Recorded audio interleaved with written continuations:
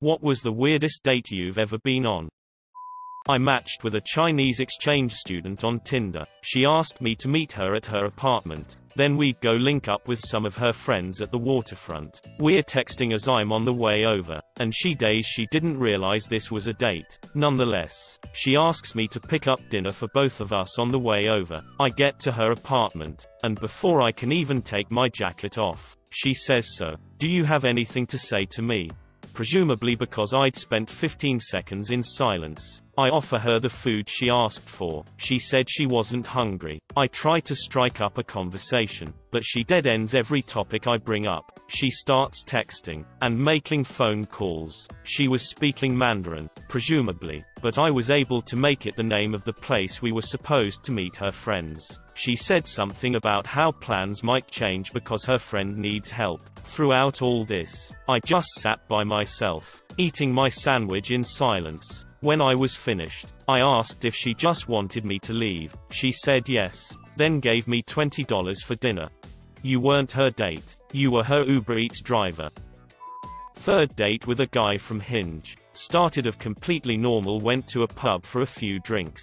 Pub closes. Guy invites me back to his. We get back to his and have a few more drinks. He then asks if I'd like to smoke a joint. Hadn't smoked for a few years but thought hey it'll be fine. End up feeling very sick and unable to move. Guy doesn't have a bucket or bowl so brings over the entire kitchen bin and places it next to me. He then suggests we watch a movie. Guy puts on American Psycho and I sit there for the next two hours paralyzed and paranoid completely convinced he's going to murder me. Also he lived on a boat. The one where I asked a girl out and she said yes and then brought her friend. And halfway through the date it dawned on me that she was trying to get me to like her friend.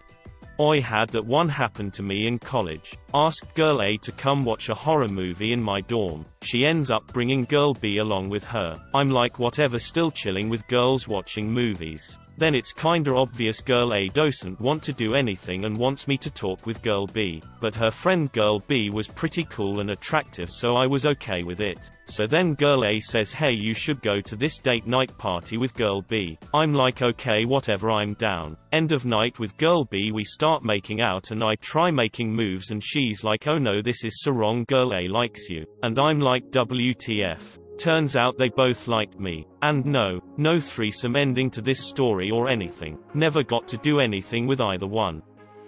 I was talking to dude on Tinder and decided to meet up with him for coffee one day. He only talked in impersonations of WWE wrestlers and then asked me to go to WrestleMania with him and his entire family later that night.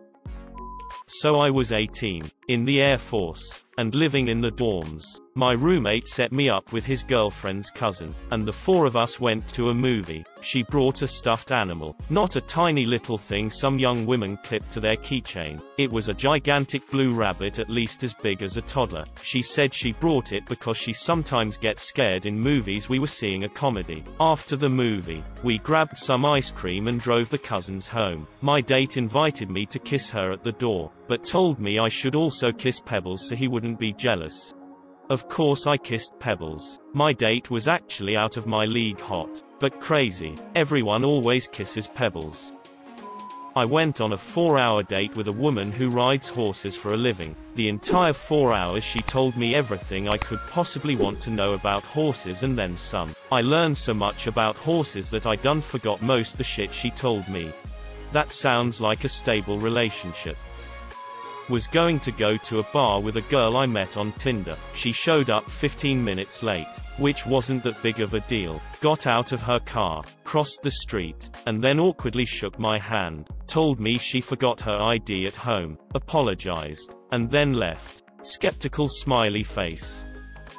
Went on a first date where someone asked me why I cut my hair so short. I guess I could have lied or blown off the question, but I don't like to start anything with falsehood. So I told him that I had chemo for breast cancer, that I'll probably be completely fine now, and we absolutely didn't have to talk about it. He asked me a few questions about the surgery single mastectomy, and he said I wanna know which one it is. But I can't look at your boobs now. I told him if he could guess which boob got the axe, I'd buy the drinks and appetizer. He won, and I never saw him again. I'm positive I am the weirdest date that guy has ever been on. My first dating app date starts off pretty good. We barely put in our dinner order and her phone starts blowing up. Her ex was drunk and causing a scene outside her apartment. Her ex kept calling. Then her roommate started and then the landlord calls threatening to call the police. We get our food to go and I take her back to her apartment. Long story short, both her and her ex are crying messes. She goes inside, leaves me outside with crying drunk ex who starts telling me all about how he messed their relationship. Dude is way too drunk to drive. I end up driving him to his apt Uber back to my car. Realize my date took all the food with her. The joys of dating. You're a good guy for driving him home. Dated a man who corrected my Polish because his grandmother was Polish and she told him how to pronounce some words. Mind you, I was brought up in Poland, went to school and college there, read a zillion books, saw a zillion Polish movies etc. But this guy was very condescending about my pronunciation of the few words he learned from his grandma. I was interested in this girl, and she kind of tricked me into a double date where she was dating another guy and had fixed me up with her sister. Being a good sport, I went along with it and it was awkward but okayish. But then she set me up with her sister again and this time it was just the two of us. We went to the park. She had filled the trunk of her car with troll dolls I mean dozens and dozens of them and spent the entire date introducing me to her trolls one by one. I should mention we were in our 20s. She was getting frustrated and angry because I didn't seem all that interested in her dolls. So sitting there, hands full of troll dolls, she exasperatedly asks me so are we going to have sex? Do you even know how to have sex? Um, not with you I don't. I said, and got up and walked home. There's only so much one can endure while being polite. You gotta pay the troll toll, if you wanna get into that girl's hole. Another one. I went on a date with this girl from Tinder. She super liked me and messaged first. So I was really happy to have someone interested. I asked if she'd like to go for a walk sometime and she said she'd love to. So we get to walking and like 5 minutes in, she asks if I have roommates. I said yes. I live with 5 people and tell her about a few of them. There's Max, Matt, Mark, wait, Mark Smith. I know him. What's he been up to? So we start chatting about my roommate and she knows a lot about him, his family, the sports he plays, his girlfriend. Every time I try to move the conversation somewhere else, she brings it back to Mark. She's not even pretending to be into me anymore. She's just fangirling out over my roommate. I just love him. His hair is always so shiny and he smells so nice. She spends the full two hours talking about him and asking all sorts of questions. I didn't really know what to do, so I just boredly keep answering. When we get back to our cars, she shifts gears again. Hey, so I had a really great time. Want to go back to your place to have some fun. She's really creeping me out at this point. So I tell her I have homework to do and maybe later.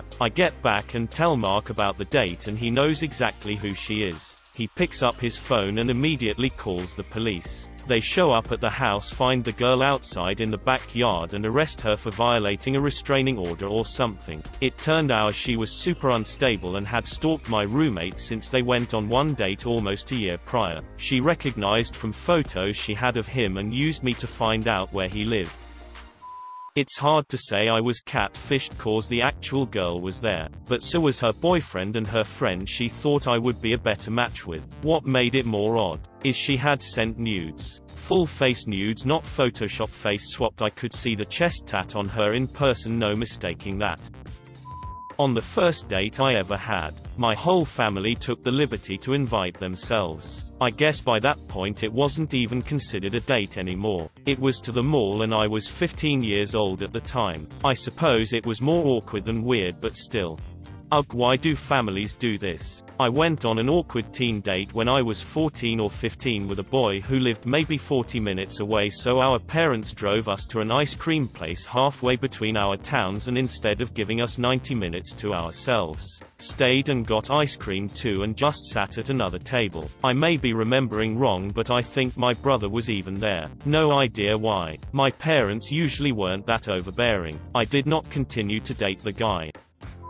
When I was 15, a girl asked me to the movies. It was I Love You, Man. Her parents decided to attend too. Then one of the characters cursed like 10 minutes into the movie and the parents told us we were leaving. They took me right home and that was that dated a woman who didn't tell me she needed meds because she was psychotic. In the middle of dinner at a restaurant she got quiet and distracted. I asked if she was feeling okay. Apparently one of the voices told her I was a horrible person and she pulled a steak knife on me. A customer was able to talk to her, and got her to put the knife down. The police were called, and she was arrested. I didn't press charges. And about a week later, she sent me a letter with proof that she's been in counseling for a long time, takes medication, and included a heartfelt apology. The girl took me to a cemetery at night, walked me to a grave, explained that it was her cousin and that night was the anniversary of his death, then told me a long story about the time he raped her, I went on a date with a girl to a bar and grill. The girl just got set free from a bad relationship. The bartender was her uncle, the server was her sister, and her fresh ex-boyfriend was there on a date with another guy. Went to the Church of Scientology. Roped in with promises of free food. We were on a date for Christmas. So, so odd. They had us take the personality test and tried to break us up. They said we were completely incompatible, to the point of being toxic. We've been together 10 years.